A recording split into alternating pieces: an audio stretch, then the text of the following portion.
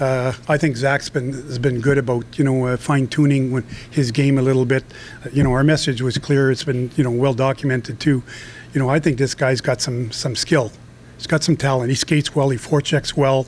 You see him in practice. He can make great plays. Got a good shot, but sometimes the other part of his game would take over. So all we've asked him to do is balance that out.